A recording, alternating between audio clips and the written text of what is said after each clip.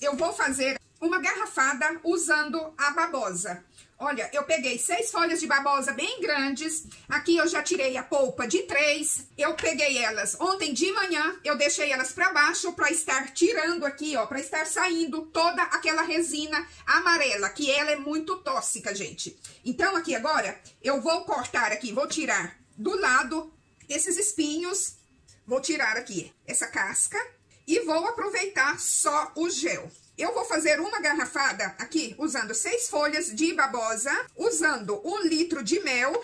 Olha, eu vou usar o mel puro, mel puro mesmo, gente, sem açúcar. E vou usar duas garrafas de vinho.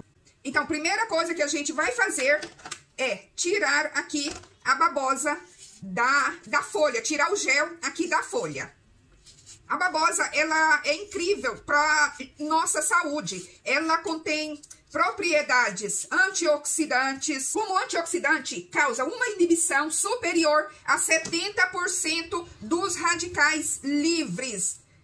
Que um dos radicais livres que ela inibe é como anti-envelhecimento. A babosa é, tem os mais antigos, as pessoas mais antigas, elas fazem essa garrafada aqui para vários tipos de infecção. Se você tem infecção na pele, se te está saindo muito furungo na pele, se você tem muita acne, as pessoas antigamente te recomendava fazer esse xarope aqui. Não usavam vinho, antigamente usava o álcool, usava a cachaça, né, para estar tá fazendo. Mas eu vou usar aqui o vinho biológico, para me estar fazendo essa garrafada aqui. A aloe vera ou babosa, ela é recomendada também para pessoas que têm psoríase no corpo. A aloe hemodina, ela tem efeitos muito positivos no tratamento da doença.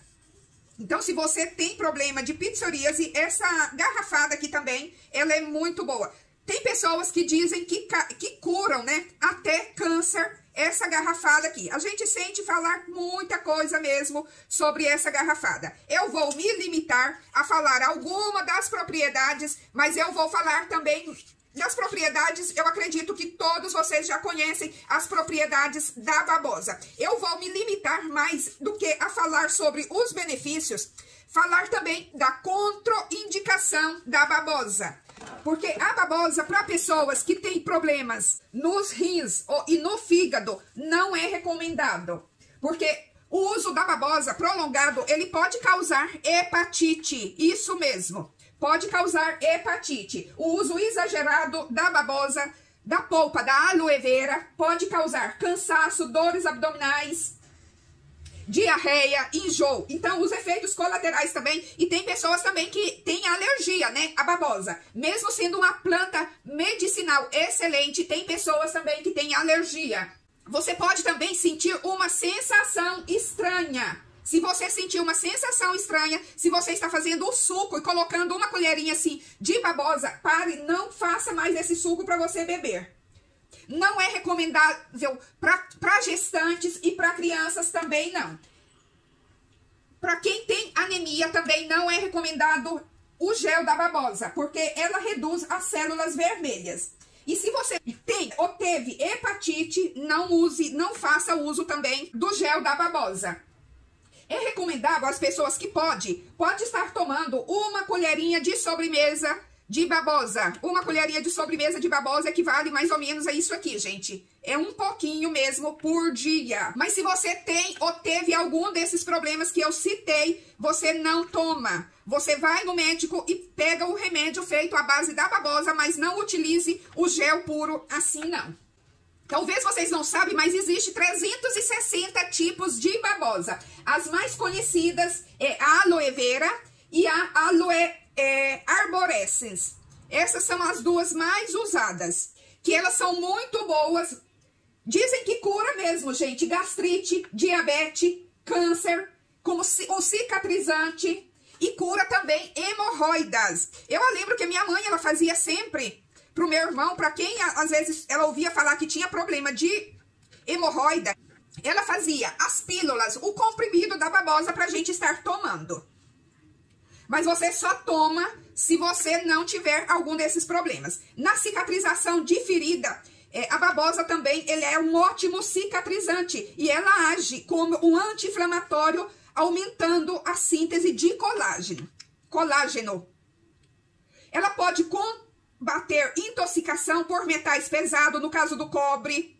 Foi capaz de evitar efeitos negativos de, da intoxicação, protegendo também o cérebro.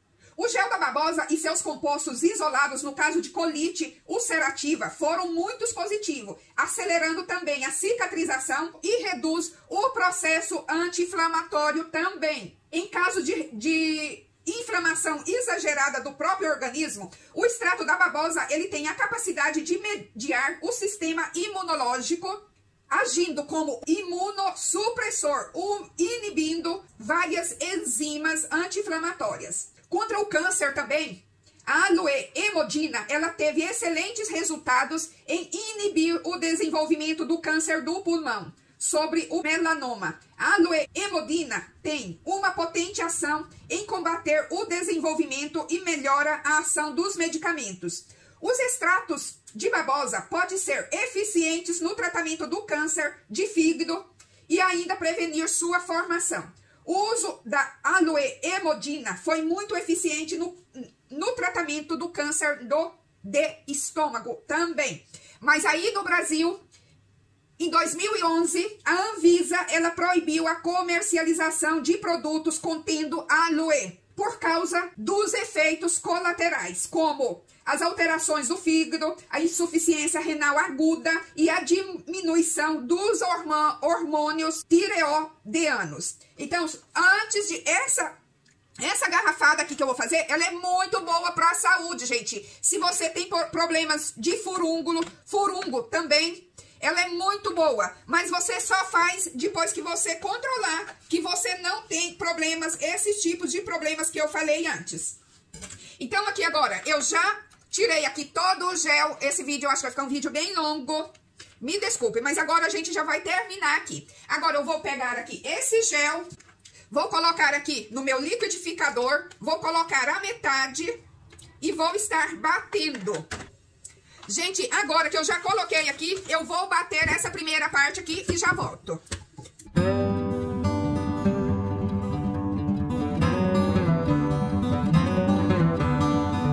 Eu já bati aqui a primeira parte. Eu vou pegar aqui meio litro de mel puro. Vou colocar aqui junto. Vou colocar um pouquinho de vinho. O vinho, ele vai entrar aqui como conservante para minha babosa. E pro o mel, né? O mel também, o mel ele já é um, um conservante. Então eu vou dar mais uma batidinha. Gente, olha, já bati. Agora, eu vou colocar aqui nesse balde, porque vai render bastante.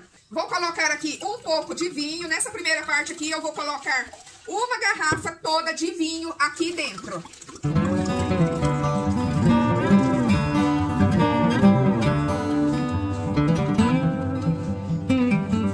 Tirar aqui o excesso e vou bater aqui agora o restante da minha babosa, da minha aloe vera. Olha, eu vou colocar aqui já de uma vez um pouco do mel e vou começar a bater a segunda parte.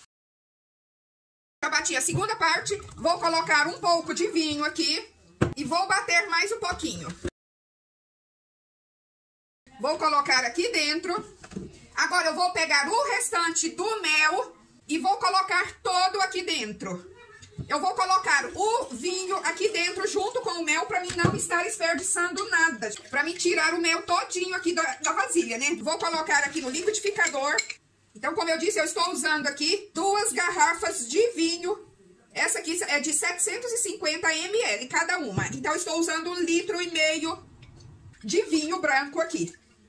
Estou usando 700 gramas de gel de babosa e um litro de mel. Agora que eu já coloquei todo o mel aqui no meu liquidificador, vou dar aqui uma misturada para tirar o excesso, porque esse liquidificador aqui, não sei se vocês prestaram atenção, ele é o contrário dos outros. E vou dar mais uma misturadinha aqui. Olha, já bati tudo. Vou colocar o restante do vinho aqui dentro para me tirar o excesso do mel que ficou aqui no liquidificador. Vou colocar tudo aqui dentro. Gente, olha agora, eu vou pegar aqui uma colher, vou misturar tudo muito bem. Deixa eu mostrar aqui pra vocês. Não fica fedor. A babosa, ela feita assim, ela não fede, gente. E é muito gostoso de estar bebendo, bebendo essa garrafada aqui.